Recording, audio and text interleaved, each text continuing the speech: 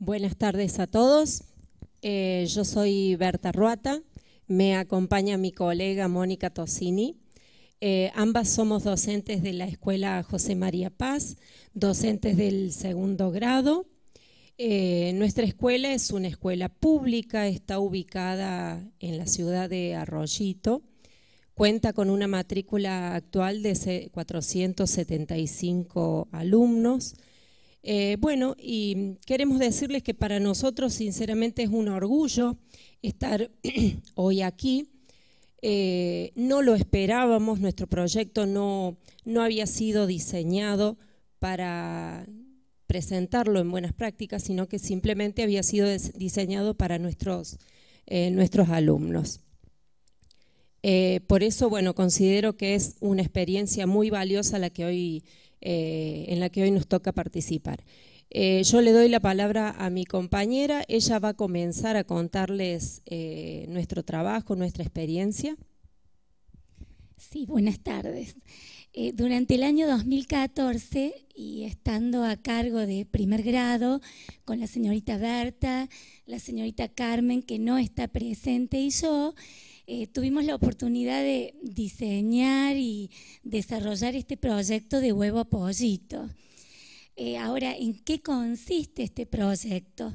Bueno, eh, ¿cómo surge este proyecto?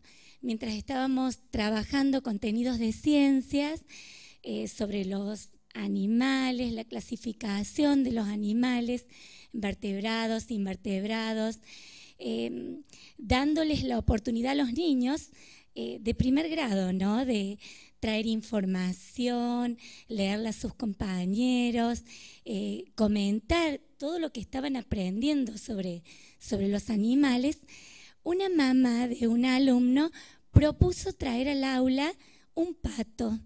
Era un pato marroquí. Eh, bueno, esto se concretó, esta visita del pato se concretó y los chicos eh, estaban muy emocionados.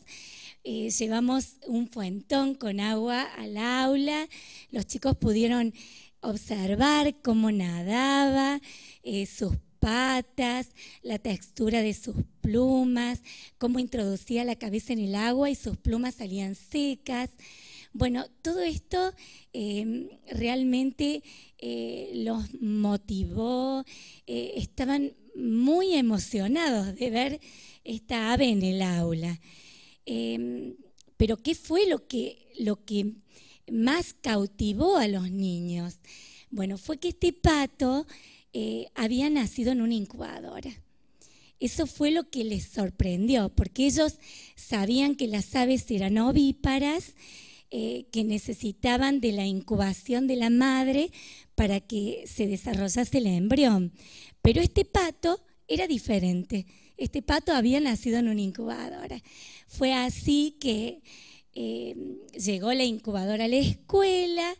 Eh, bueno, aceptamos este desafío porque para nosotros también era una experiencia que no sabíamos cómo iba a terminar.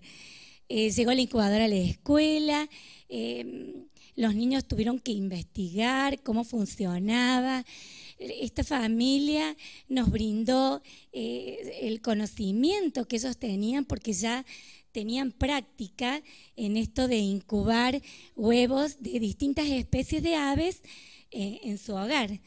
Em, bueno, viendo eh, esta propuesta que realmente notamos que era muy interesante, propusimos al Jardín de Infantes trabajar en forma conjunta.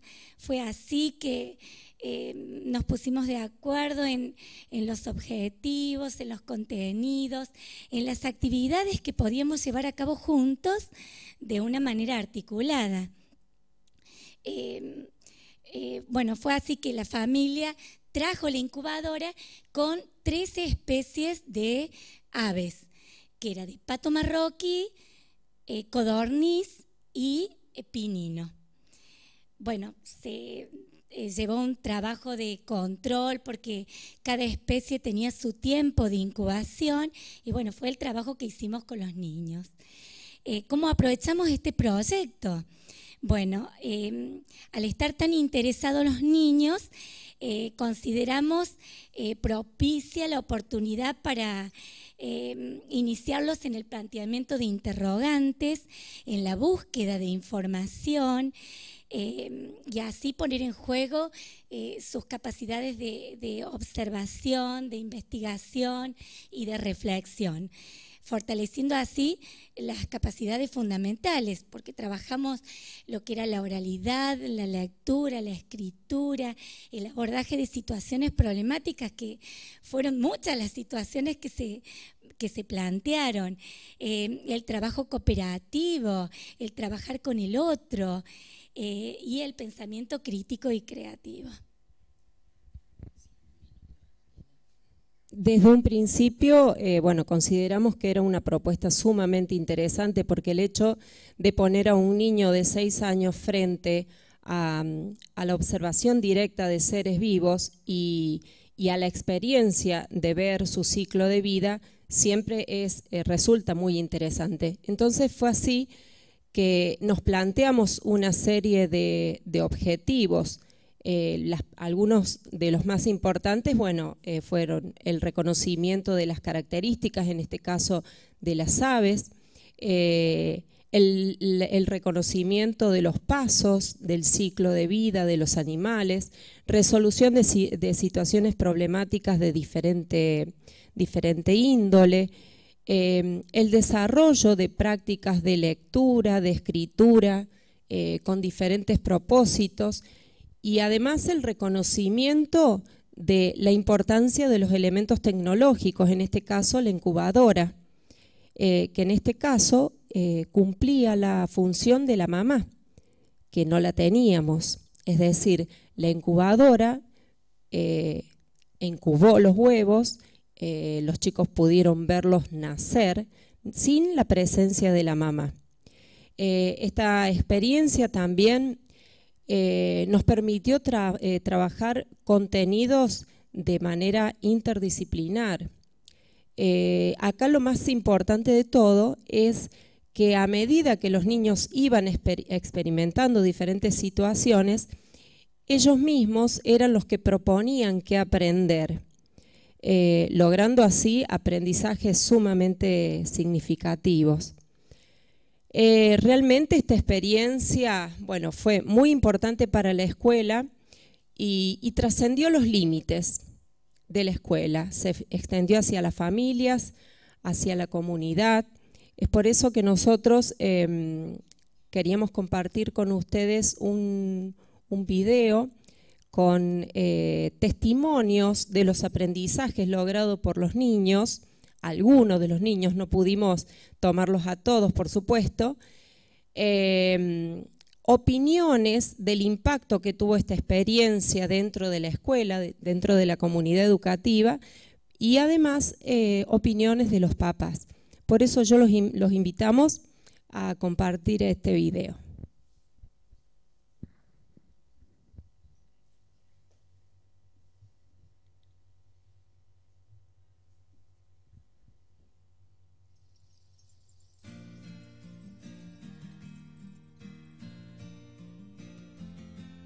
Nosotros estábamos investigando sobre las aves y la mamá de Lucian nos trajo un pato de verdad llamado Renato para que lo observemos. Este pato había nacido en una incubadora, no nació con su mamá. Nos explicaron sobre la incubadora y nos propusieron traer la incubadora a la escuela.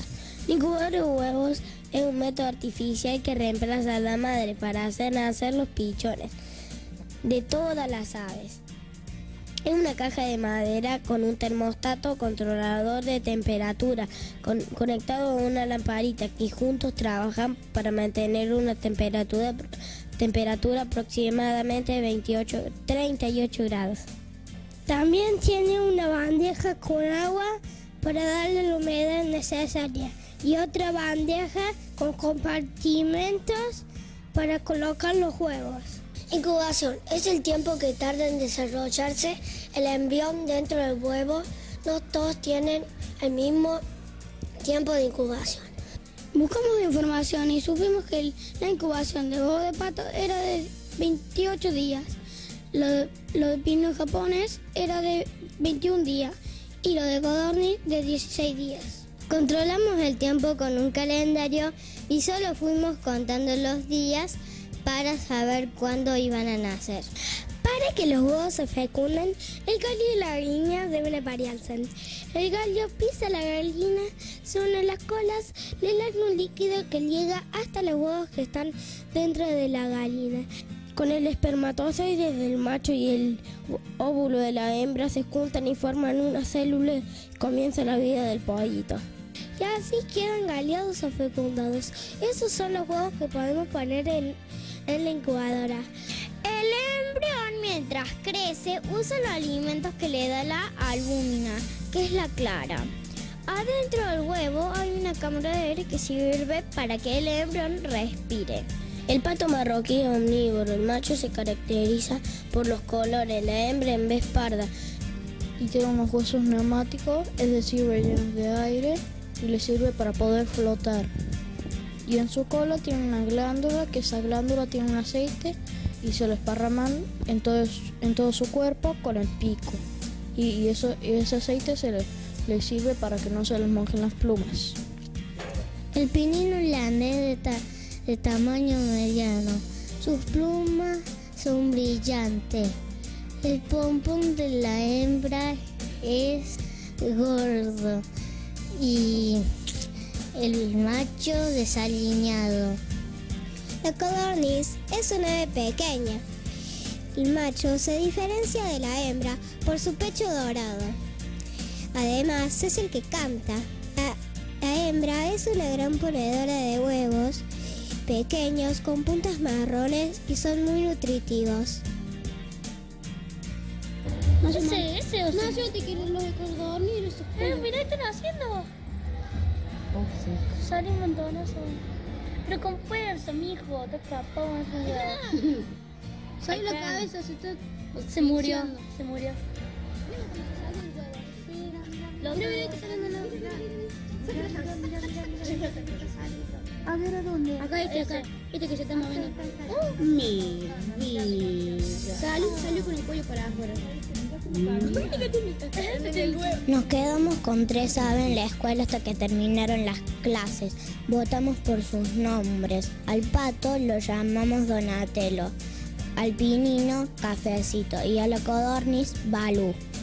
Organizamos una fiesta llamada la fiesta de los hermanitos. Trabajamos mucho. Invitamos a los niños de jardín de infantes porque ellos venían a observar y a preguntarnos cosas, porque nosotros sabíamos mucho. Con este proyecto, los niños han podido desarrollar sus capacidades fundamentales y a su vez los docentes pudieron aprovechar para el desarrollo de las prioridades pedagógicas y supieron escuchar a sus alumnos. Y en esta escucha sus alumnos pudieron marcar nuevos desafíos porque se creaban nuevas situaciones en las que ellos mismos disculpas, se pero sentían esta involucrados y dicho, podían eh, desarrollar. Tenemos, estamos El pasados con los de tiempos. huevo a pollito Tenemos que darle lugar a la otra.